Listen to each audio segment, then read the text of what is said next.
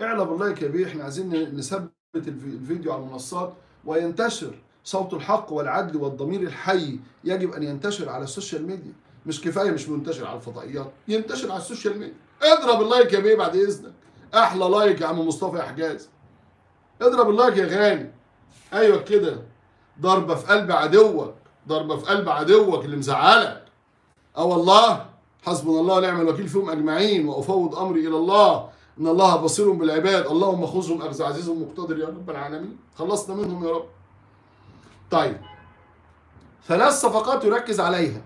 نادي الزمالك لتحسين وضعه في جدول الدوري خاصة وأن الخواجة قال لهم أنا عاوز مهاجم صندوق عاوز مهاجم صندوق. قلت لكم يا أحمد ياسر ريان رحت تجيبوا لي إيبوكا. قلت لكم مش عايز إيبوكا إيبوكا مشي وراح ليبي زي ما قال أسطورة انكل أبو المعاطي زكي.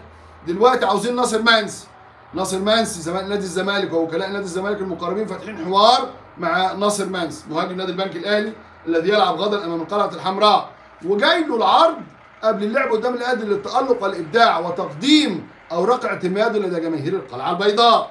طيب سيادة اللواء أشرف نصار رئيس نادي البنك الأهلي في تواصل تليفوني معه أكد أنه لم يصل إليه أي عرض وأنه لن يفرط في ناصر منسي وأن حالة البنك الاهلي الذي كان يامل في التواجد بين الأربعة الكبار هذا الموسم بعد الدعم وفتح الخزائن للكابتن خالد جلال والكابتن كريم حسن شحاتة وهو ما لم يحدث وما تم بناء عليه إقالة خالد جلال ومن بعده حلمي طولان والآن مع المدرب الشاب الموهوب أمير عبد العزيز ونتمنى له التوفيق بإذن الله تعالى. آآ آآ يعني مش هيسيبوا حد. قال لك مش هنسيب أي حد من الفرق. إحنا عاوزين نتمسك باللعيبة كلها. لكن ناصر منسي يرغب في الرحيل عن القلعة قلعة البنك. أنا ما شفتش حد يا ابني بيسيب الفلوس ويروح للأرصدة المحجوز عليها غيرك انت. عموما ربنا يجيب الخير. اعلى بال like يا بيه بعد إذنك. يا بيه اعلى بال like يا بيه يا بيه اعلى بال like يا بيه بعد إذنك. صلي على حبيبك النبي واعلى بال like اضرب ال like أيوه يا بيه إحنا بنشحت لايكات و... و... و... و... وشيرات وبنصلي على النبي وبنقول لكم صلوا على النبي عشان تضربوا لنا لايكات آه يا بيه أمال إيه؟ صلي على الحبيب قلبك يطيب طب اللعيب التاني مين؟ اللعيب الثاني عبد الله السعيد الذي وعد رئيس نادي الزمالك الذي وعد رئيس نادي الزمالك. ماشي يا عم حميد محمد ربنا يكرمك. ربنا يكرمك وكل من يضرب ال like وكل من يتابعنا بإذن الله تعالى. like و share وصلي على الزين. عبد الله السعيد لاعب نادي البيراميدز. رئيس نادي الزمالك وعد بإنهاء صفقته بالتواصل مع سعادة سالم الشمسي سعادة سالم الشمسي مالك نادي بيراميدز. قال خلاص سيبوا لي الصفقة دي أنا اخلصها مع سالم. سالم حبيبي وعلاقة بيه طيبة وهيتواصل معاه وبيضغط بكل الأشكال للحصول على خدمات عبد الله السعيد الذي يرغب في ارتداء الفانيلا البيضاء واللعب للقلعة البيضاء.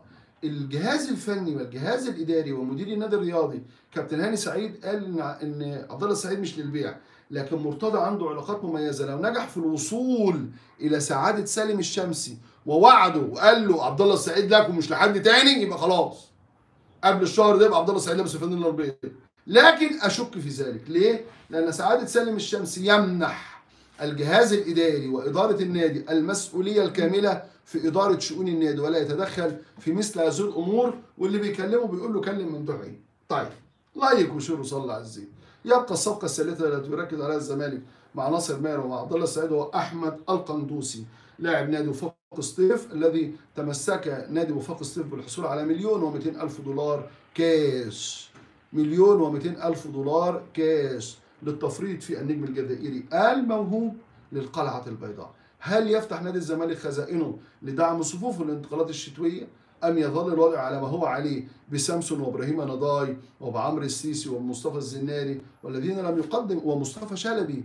وهذا الخماسي بجانب زكريا الوردي لم يقدموا أوراق اعتمادهم لجماهير نادي الزمالك وللقلعة البيضاء ولخبراء كرة القدم في مصر والعالم العربي الذين يتابعون الدوري المصري شايفينهم كلها صفقات في شنك دمتم في أمان الله.